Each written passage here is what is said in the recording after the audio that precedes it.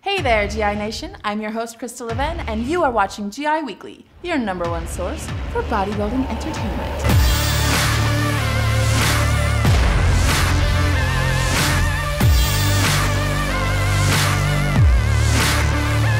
Summer is almost here, and that means big summer blockbuster movies. So we've decided to count down the top five bodybuilding films ever made. Let's go watch some. Number five, Teddy Bear. Don't let the title fool you. First time actor Kim Kold is enormous.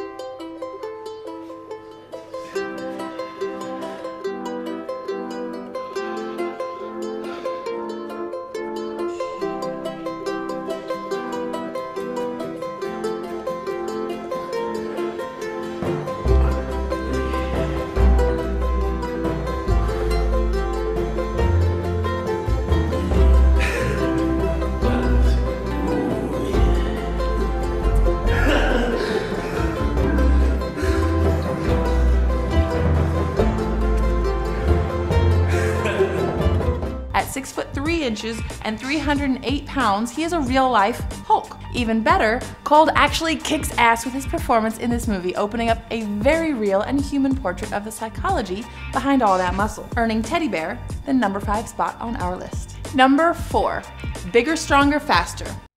One look at Valentino's arms, and you know something's going on. You think girls look at me and go, oh my God, that's hot?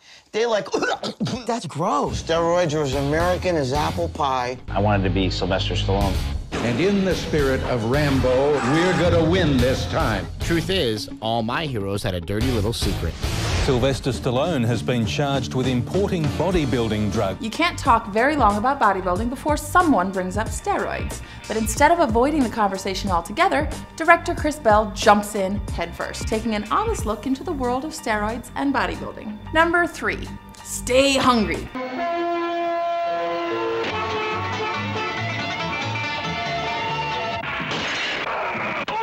Once you get used to it, it's hard to give up. I'd rather stay hungry. When are you gonna take that mask off? When Joe takes that title next month, he's going to have done it all.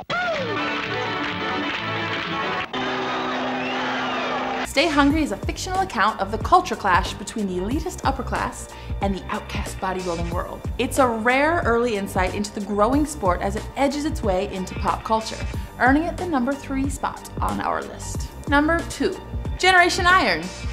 I know, I know. The road to success isn't always straight or clear in this sport. Another loss like Tampa would mean months and years of training have been wasted. This means the loss of prize money and perhaps even a sponsor, the support line for any bodybuilder.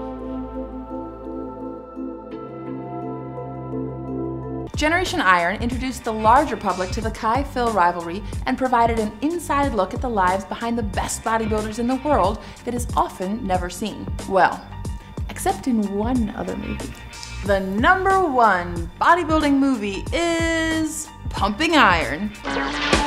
Just relax. Get this together. I don't have any weak points. I had weak points a few years ago, but uh, my main uh, thing in mind is my goal always was to even out everything to the point that everything is perfect. Which means if I want to increase one muscle a half inch, the rest of the body has to increase. I would never just make one muscle increase or decrease because everything fits together now. And all I have to do now is get my posing routine down more perfect, which is almost impossible to do, you know. It's perfect already. You all saw this one coming. But facts are just facts. Pumping Iron changed everything for bodybuilding, turning it from a hidden little sport into a cultural phenomenon. This movie brought bodybuilding out of the dark and into the Hollywood spotlight. It also put Arnold Schwarzenegger on the map, and he hasn't left ever since. He's still on screens kicking ass and hitting those one liners, all because of Pumping Iron. That's it for this week's list, but we want to know what movies you think belong on here. Send us your thoughts on our official Facebook and Twitter pages, and don't forget to use hashtag GI Weekly. You can also subscribe to our YouTube channel right here to get updates on all of our daily videos. Now, I'm gonna go watch all of those movies and get motivated. Peace out. Stay pumped.